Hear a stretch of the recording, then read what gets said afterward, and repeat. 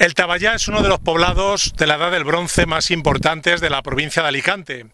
Actualmente se conservan pocos restos constructivos, pero en el sector este todavía podemos ver el derrumbe de un gran torreón que protegía la entrada este del poblado.